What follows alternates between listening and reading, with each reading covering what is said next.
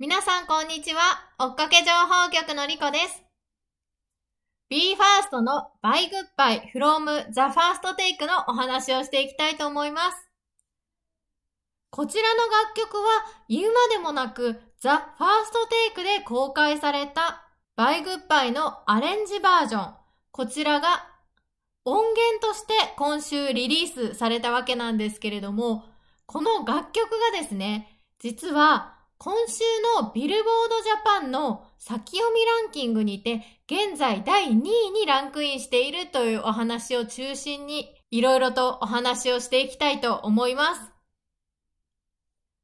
今回こちらに掲載しているのはビルボード先読みランキング6月12日から14日分なんですが左側がダウンロードソングの集計速報右側がストリーミングソングの集計速報となっております。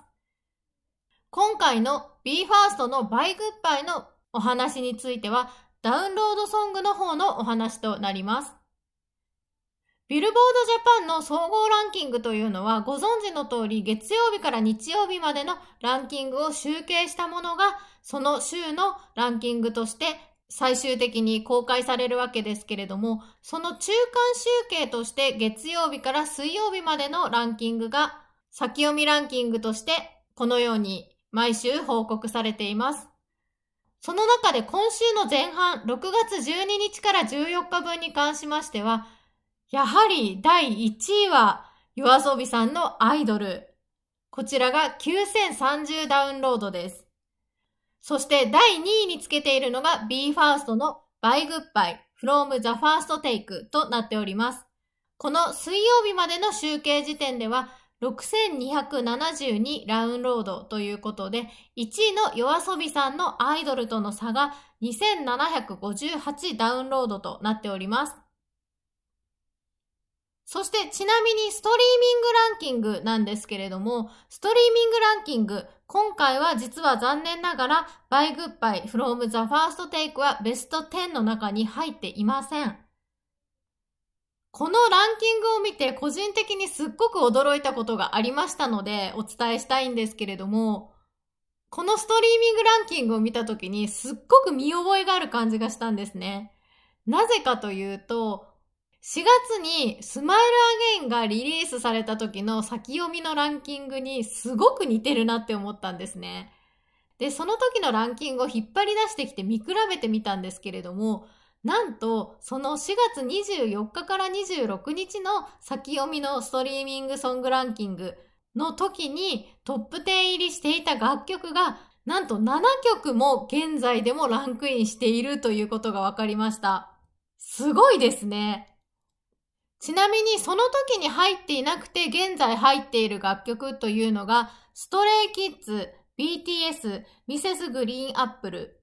この3組の楽曲となっております。それ以外は4月24日から26日の時点ですでにトップ10にランクインしていた楽曲となっております。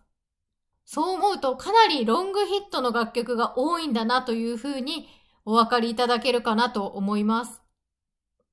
これを見ていて改めて思ったことは、BE:FIRST が次に目指すべき姿っていうのはここにあるんじゃないかなというふうに個人的にとても感じました。楽曲をリリースした時の瞬発力っていうのはものすごいものがあって、BE:FIRST も前回スマイルアゲインがビルボード総合ランキングで惜しくも第2位でしたが、それ以外は今までずっと第1位を取り続けてこられたということ。などを鑑みても、やはり BE:FIRST が楽曲をリリースした時の瞬間的な力というものは、ものすごいものがあるというのはすでに実証されているかと思います。そのリリース集を終えた後に、どれだけこのストリーミングランキングに長くランクインし続けることができるかというのが、現代におけるヒットソングの証なのかなというふうに思いました。はい、ということで、余談でストリーミングソングのお話もさせていただいたんですけれども、ダウンロードの方に話を戻しますと、今回の By Goodbye from the First Take リリースから3日間でのダウンロード数は6272というふうに先ほどお話しいたしましたけれども、BE:FIRST の過去の作品の初週のダウンロード数がどれくらいだったかということを次に見ていきたいと思います。はい、こちらです。こちらが過去の BE:FIRST の作品の初週のダウンロード数となっております。1位、 Smile Again 43,529。2位、 Gifted 34,685。3位、 Bye-Good-Bye 32,625。4位、 Shining One 34,459。ということで、ご記憶にある方もいらっしゃるかと思いますが、4月に Smile Again をリリースした時には、ものすごい盛り上がりを見せまして、その時に実は BE:FIRST 史上最高のダウンロード数というのを Smile Again で記録しているんですね。で、それ以外の楽曲に関しましても、初週でこれくらいのダウンロード数があるということになります。今回の By Goodbye From the First Take については新曲ではありませんし、YouTube ではすでにかなり前からリリースをされておりまして、そちらでたくさん聴いていらっしゃる方もいらっしゃると思いますので、もちろんこういった過去の作品の初週ダウンロード数よりは少なくなっているということは、ある意味当然かなというふうにも思うんですけれども、ただ実はこれだけのポテンシャルを持っている BE:FIRST ですので、